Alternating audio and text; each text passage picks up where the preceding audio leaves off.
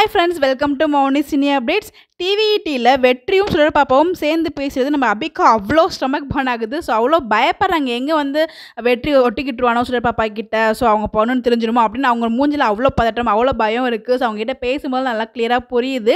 So anyways இன்னைக்கு episode ரொம்பவே சூப்பராக இருந்துச்சு.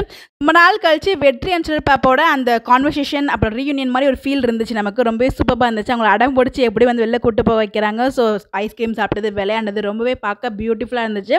அப்படி வந்து ஃபஸ்ட்டு ஸ்கூல் இன்ஸ்பெக்ஷன் சுடப்பாப்பா ஸ்கூலுக்கே போகலாம் அப்படின்னு சொல்லிட்டு போகிறாங்க இங்கே பார்த்தா இவங்க இல்லை. விஜயமா ஃபோன் பண்ணி இன்ஃபார்ம் பண்ணுறாங்க வேக வேகமாக வர்றாங்க. அப்புறம் மியூசிக்கை போட்டு இந்த பக்கம் இந்த பக்கம் மாற்றி மாற்றி காமிச்சாங்க. ஒரு வழியாக சுடப்பாப்பா வந்து அப்படி சமாளிச்சிடுறாங்க. ஸோ அந்த இடத்துலையுமே வெற்றி வந்து அவங்க திட்டிட்டு இருக்காங்க. ரொம்ப ஓவராக பாசமால எடுத்துக்காத அப்படிங்கிற மாதிரி அங்கேயுமே வெற்றியை திட்டிட்டு இருக்காங்க. ஸோ வெற்றி பாப்பா என்னோட கிளைண்ட் எனக்கு எப்படி நடந்துக்கணும்னு எனக்கு தெரியும். நீ அட்வைஸ் பண்ணாத அப்படின்னு அந்த கான்வர்சேஷனுமே ரொம்ப நல்லா இருந்துச்சு. வீட்டுக்கு போயிட்டும் பார்த்தீங்கன்னா சுடர் பாப்பா கிட்ட என்னை பற்றி அதாவது சொன்னான் நான் உங்ககிட்ட அதாவது சொன்னா மூஞ்சியில் குத்துன்னு சொல்லும்போது தான் ஷாக் ஆகுறாங்க. அதில் தருணுக்கு வேற தெரியாது இல்லையா? வெற்றி வந்து உங்கள் ஹஸ்பண்ட் சொல்லிட்டு வெற்றி தருணுக்கு ஒன்றுமே புரியவே இல்லை. கேட்குறாங்க எதுக்காக அவர் மேலே இவ்வளோ வெறுப்பு காமிக்கிற அப்படின்னு சொல்லிட்டு உனக்கு அவனை பற்றி தெரியாது அப்படின்னா கபிலனுமே வந்து வெற்றியை ஜாயின் பண்ணிக்கிட்டதுக்காக ரொம்ப கோவப்படுறாங்க. இன்சல்ட் பண்ண மாதிரி ஃபீல் பண்ணுறாங்க ஸோ அவங்கள எடுத்து சொல்ல புரிய வைக்கிறாங்க. சிம்பா அவங்க நேம் வச்சது அதுவுமே ரிவீல் ஆயிடுச்சு. எபிசோட் ஸ்டார்டிங்கில் பார்த்தீங்கன்னா வெற்றி கிட்ட வந்து அபியை பற்றி சொல்லுவாங்க இல்லையா உங்களுக்கு? இப்போ வெற்றியோட மைண்ட் வாஷ் இப்படி தான் இருக்குல்ல எனக்கு அவளை பற்றி தெரியாது. எனக்கே சொல்லிட்டு இருக்கியா? அப்படிங்கிற மாதிரி இருந்திருக்கும். அப்படி எனக்கு ஃபீல் ஆச்சு. சரி நீங்கள் எப்படி ஃபீல் பண்ணீங்க? அது கருத்துக்கள் மறக்காமல் மறக்காம ஷேர் பண்ணுங்க. தேங்க்.